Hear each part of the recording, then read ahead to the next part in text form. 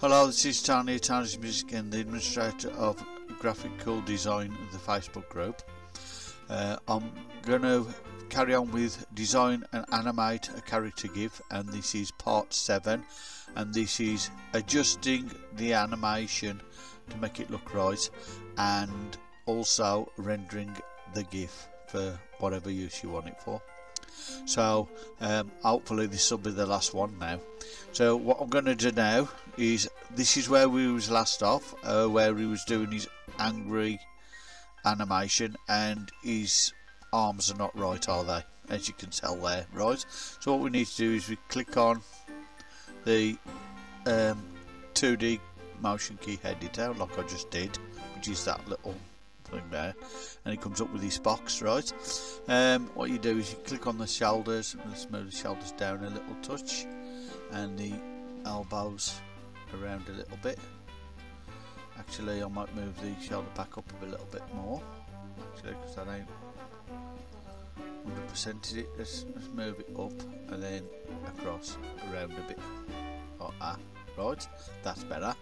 And do the same with the other one let's just move it across a little bit that way. And then the arm in from the elbow like that. I might just need to move the shoulder round a bit more actually. So that there somewhere like that yeah. That looks a bit more reasonable to what it was. Actually that other shoulder's a bit high isn't it? Just slightly too high there. That's better right now all this is is just a matter of considering what you think is the best for you really. Um, I might just change that the elbows a bit more actually because uh, I don't like the look of them I think. Need to be bent in more. Oops. Let's pull it out like that first and then bend it in like this. Yeah? And do the same with that one. Pull it out and then turn it round so it's bending in. Like that that's better. Right. That's the way I want it to be. Right so that's the end point. I need to check the thingy on there I need to put that back on there. Right now let's just check I've got it in the right place on there no I haven't. Put that there. Right now let's start again from the beginning. Let's just make sure it comes out all right. Yeah that's fine right? Now that is right because I've, I've made sure his arms look right when they're finished rather than leave them up sticking in a funny way there was there was the wrong way around completely.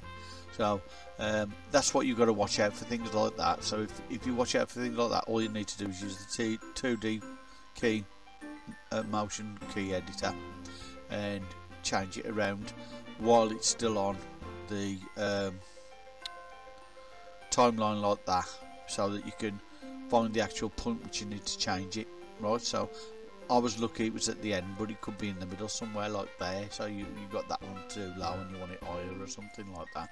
So you need to get to that point where the thing looks a bit weird to start off with and then you can, you can scroll through it slowly by going to each point like that and changing particular points if you wish.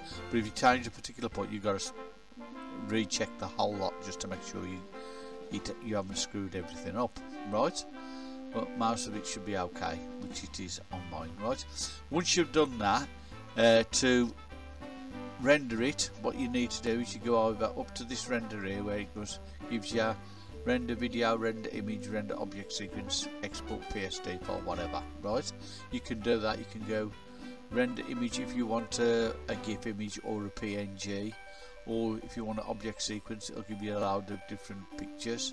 Or you can render as a video for MLV I suppose. Possibly WMV MLV pop video MP4 AVI right.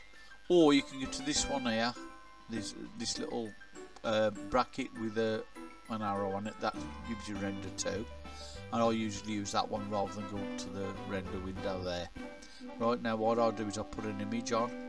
Go to GIF right and then I'll just leave it as sequence and then I'll change that to 24 frames per second FPS pips as the them right and then I'll leave everything else there except for this output size I'll change the output size to the size I want which is 1920 and then I need to unlock the ratio so I can change that to 1080 then I need to lock the ratio for that so that it goes right.